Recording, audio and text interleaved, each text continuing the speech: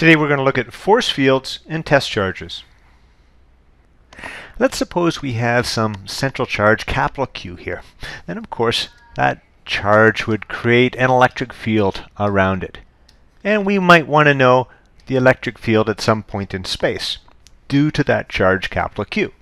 Well, of course the electric field would be equal to the force acting per unit charge which means we have to bring a charge to that point in order to figure out what the electric field is.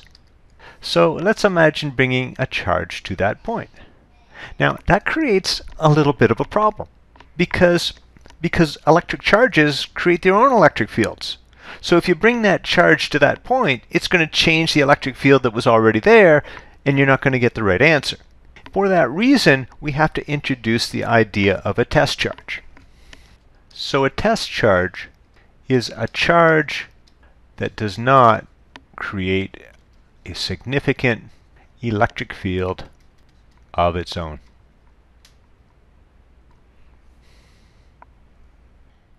Okay, what you're seeing in front of you is one diagram that represents a test charge and one diagram that is not a test charge. The blue lines are supposed to represent the electric field. So which one of those two would you say is a test charge and which one is not a test charge? Hopefully what you said is that this one here, it is a test charge because it's not affecting the electric field. This one here is having an effect on the electric field and therefore it is not a test charge. Now, you might not know this about yourselves and you might have greater aspirations for yourself, but you would make an excellent test mass. We need test masses to measure gravitational fields in the same way that we need test charges to measure electric field. The way it would work is we'd get one of these big Newton scales and we'd hang it up. And then we'd put a big hook on it and we'd hang you from that hook and measure your weight. And let's say it came out to be 690 newtons. Then we'd ask you, well, what's your mass? And you might say 70 kilograms.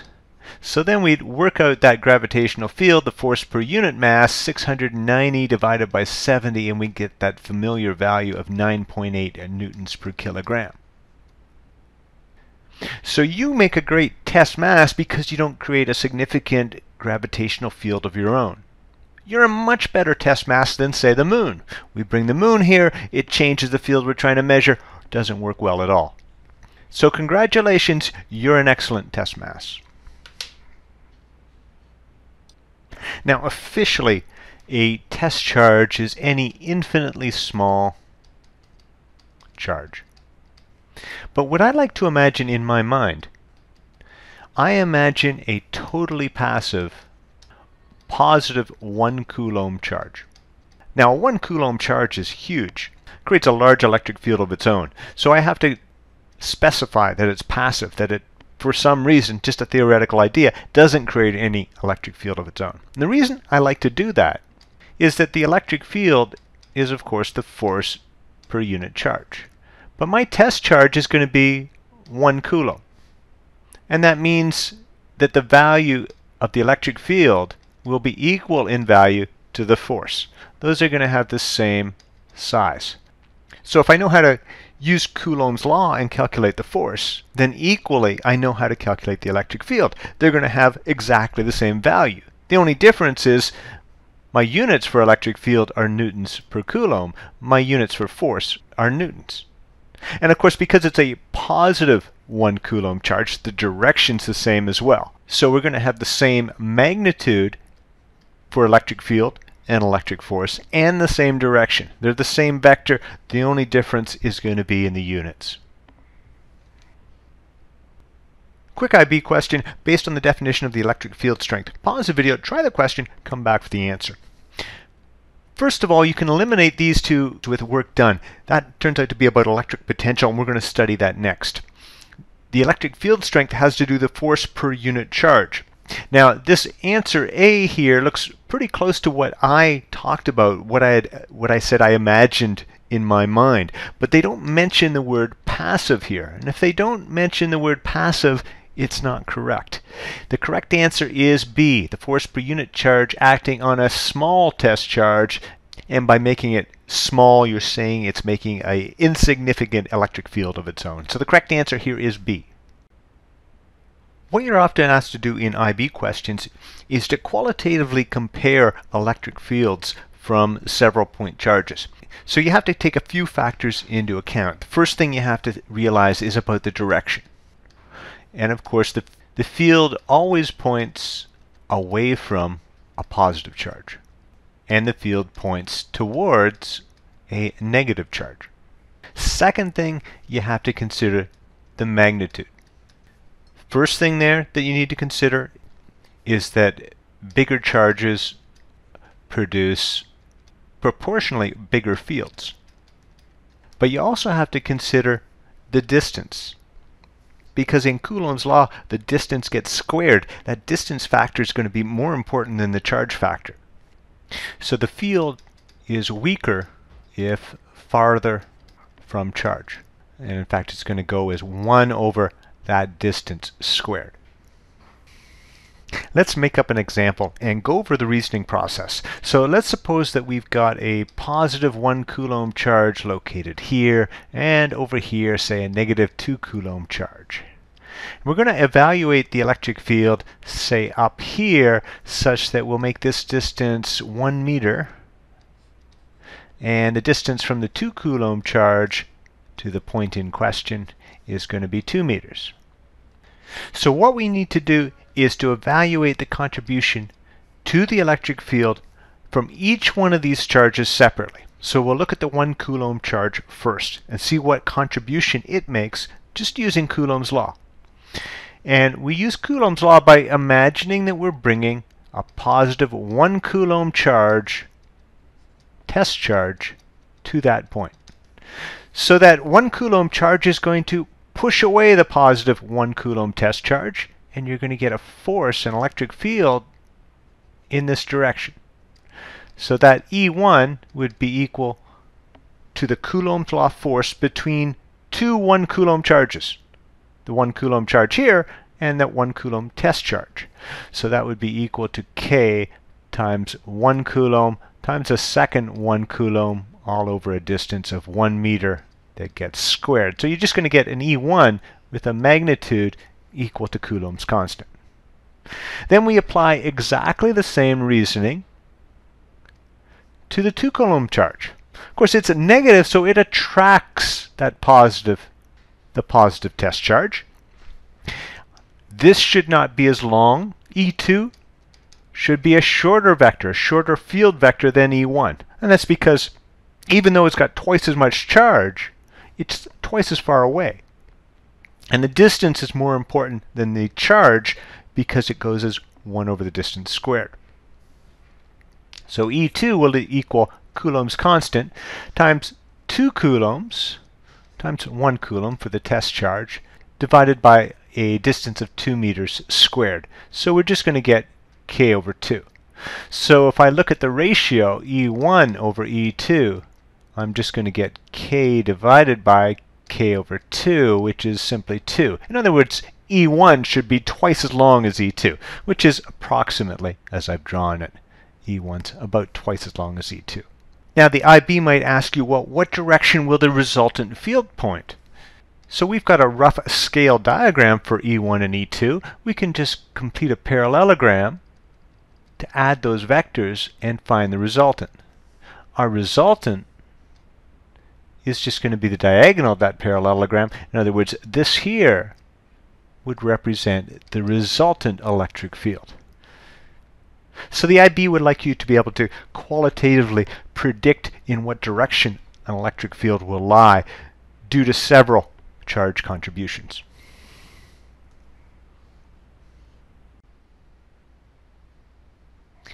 If you understood that, you should be able to do this IB multiple choice question. So what I'd like you to do is to pause the video, read over the question, try it out for yourself, and then come back for the answer. So we've got three positive charges. I'll call them QX, QZ, and QY. They're all the same size and they're all positive. So they're all going to push away. If I place a positive test charge here, QX is going to push this way. So I'll call that e, the EX contribution. Qy is going to push this way. And you'll notice here that Ex and Ey, they're equal and opposite. They're going to cancel each other out. And that means that the only contribution to the electric field is going to be from Qz here. And it's going to push the positive test charge away in this direction. And that would be Ez, but Ez is going to be exactly equal to the resultant electric field. And so the correct answer here is B. The electric field is going to be directly away from the charge at Z. Here's another very similar IB multiple choice question. Once again, I'd like you to pause the video, read it over, try it out for yourself, and come back for the answer. Hopefully, you said that the correct answer would be A, because the if we have three equal charges, the positive charges are each going to push away the positive test charge. And so we'd get three electric fields in directions like so. And then, of course, if we add those three vectors up, we're going to get 0. And that means that the electric field at P is going to have to be 0. So the correct answer here is A. And finally, I wanted to do one numerical example with you. The IB seldom asks this type of question. However, I find for a lot of students, they don't really get it until they start punching the numbers in. So let's try that. So what I'd like you to do is pause the video, read over the question, try it out for yourself, and then come back for the answer. So let's place our 1 coulomb charge right here, positive 1 coulomb charge right here. It's going to be attracted to the negative charge up at the top, so there'll be a force F1 due to Q1. There will also be a force pushing to the left because of the repulsion from this positive charge Q2. So we'll have another force F2. And then, of course, to find the resultant force, we've just got to add those two forces so that we'll have a vector F1 up and a vector F2 across. And our resultant is going to be like so. So let's find out the magnitude of F1. All we have to do is plug into Coulomb's law. So K is 9 times 10 to the ninth. Our first charge was negative 5 nanocoulombs. We're just interested in the magnitude, so I'm not worried about that negative sign. The negative sign can be used, but it, all it tells you is whether or not you have an attractive or repulsive force, and we already know that anyways. So 5 times 10 to the minus 9 coulombs, and then our other charge is the 1 coulomb charge that we're placing down here. The separation between those two charges is 7 centimeters or 0.07 meters. Don't forget to switch to SI units. Multiply that out and you should get an answer of about 9200 newtons. And then we can do the same thing for F2. Still the same K value. This time our charge is 6 nanocoulombs or 6 times 10 to the minus 9 coulombs. Once again, it's against that 1 coulomb charge, and the distance of separation this time 6 centimeters. Square that, you should get an answer of about 15,000 newtons there. So now we know the length of these vectors here. This is going to be 9200, and this vector has a length of 15,000. So if I want to find out the magnitude of the resultant force, I just use Pythagorean theorem. It'll be 15,000 squared plus 9,200 squared, and you get an answer there of approximately 18,000 newtons. So all that remains now is to find our angle of orientation, our polar angle, and that's going to equal the inverse tan of the y component divided by the x component. Our y component, 9200. x component, 15,000, but that's to the left, so that's really a negative 15,000. And you want to notice our x value is negative. And when our x value is negative, we have to add 180 degrees to the answer given by our calculator.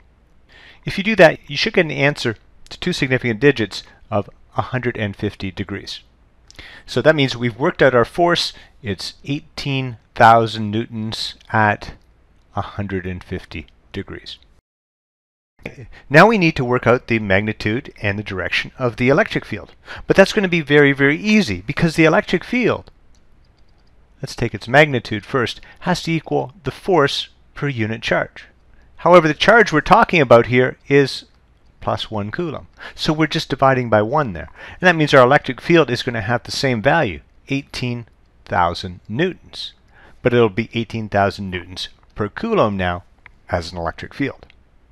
And of course the electric field and the force on a positive charge are always in the same direction. That means our angle of orientation has to be the same as well. So that's going to be 150 degrees. So our electric field is 18,000 newtons per coulomb at 150 degrees.